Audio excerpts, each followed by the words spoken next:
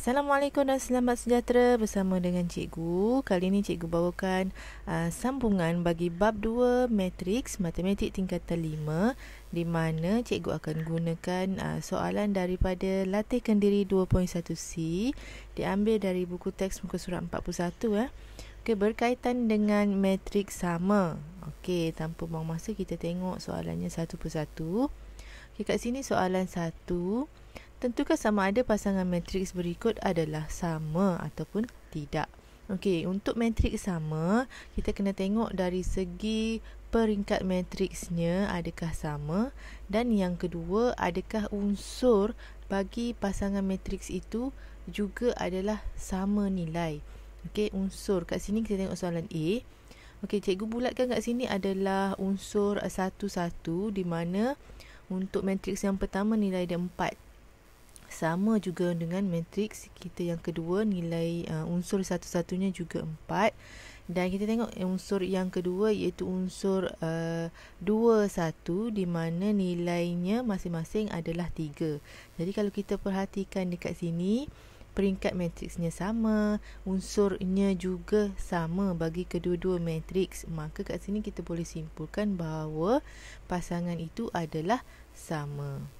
Okey, untuk soalan B, sama juga kita akan buat. Kali ini cikgu nak fokus kepada nilai yang nampak tak sama iaitu 0.1 dan 1 per 10.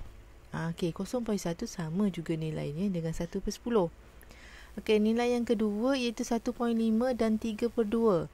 Okey, kat sini nilainya juga sama cuma bentuk penulisannya berbeza. Okey kat sini kalaupun kata penulisan tu berbeza tetapi nilainya nilai akhirnya uh, sama kita juga boleh simpulkan sebagai pasangan matriks itu adalah sama. Okey. Next untuk soalan C.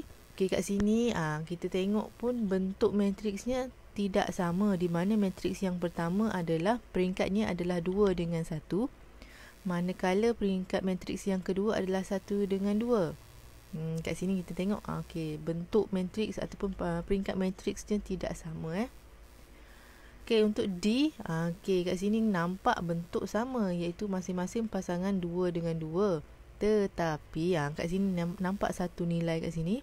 Untuk matrix yang pertama nilai uh, pada unsur 1 2 nilai dia 9. Tetapi pada unsur uh, 1 2 juga pada matrix yang kedua nilai dia 8. Ah kat sini kita tak boleh terima eh maka tidak sama. Okay, syarat untuk kita panggil matriks itu adalah matriks sama setiap satu unsurnya adalah sama antara mm, matriks yang pertama dan juga matriks yang kedua. Kalau kata ada tiga matriks, maksudnya matriks yang ketiga pun unsurnya mesti sama. Ha, itu syarat dia. Eh. Okey, kita tengok soalan yang kedua pula. Diberi P, uh, matriks P sama dengan matriks Q. Kemudian kita akan diminta untuk meni- memberikan nilai ataupun hitung nilai X, Y dan Z. Okey, contoh uh, soalan yang kedua ini adalah antara soalan-soalan yang kerap keluar lah masa ujian. Uh, Okey. Uh, bentuk uh, apa tu tahap kesukarannya itu bergantung pada soalan jugalah.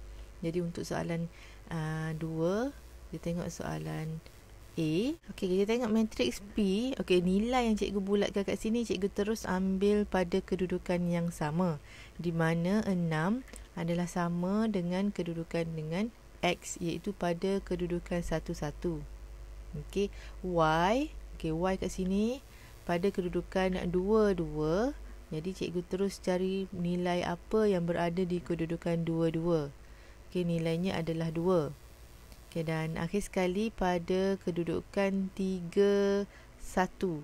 Okay, iaitu 2Z tolak 3 dan nilai 2, 1, ah, sorry, nilai pada kedudukan 3, 1 pada matriks Q nilainya adalah negatif 2. Jadi yang mana kita boleh terus dapat nilai contoh dengan uh, contoh X dengan Y tadi kita boleh terus tulis X sama dengan 6, Y sama dengan 2. Uh, yang melibatkan sebutan Z dia dalam bentuk ungkapan iaitu 2Z tolak 3. Kita samakan dengan negatif 2.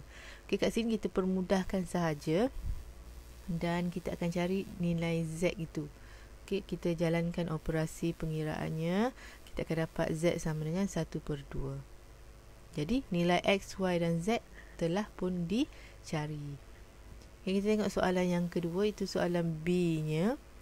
Okey, uh, P dan Q masing-masing di peringkat matriks 2 dengan 2. Okey, terus uh, kita tengok mana sebutan yang ada huruf-huruf yang kita nak itu huruf X, Y dan Z.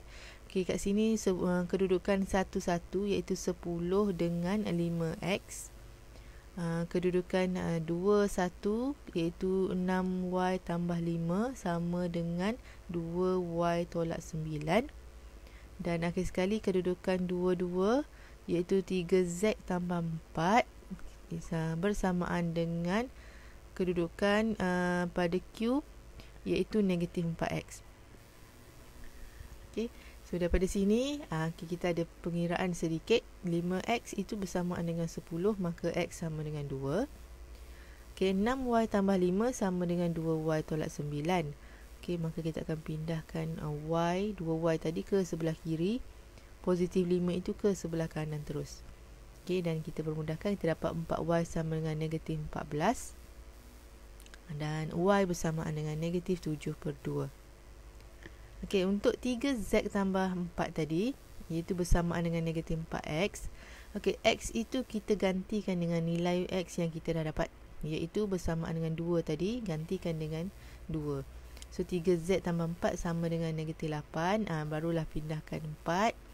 Dan akhir sekali kita akan dapat 3Z sama dengan negatif 12. Akhirnya Z sama dengan negatif 4. Okey, so begitulah uh, pengiraan melibatkan uh, matriks sama di mana kita cari unsur yang sama bagi matriks ataupun pasangan matriks itu.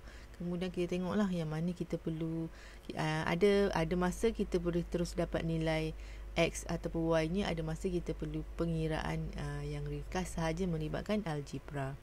Okey, sekian untuk perkongsian cikgu kali ini. Jumpa lagi untuk uh, video yang seterusnya. Assalamualaikum dan bye.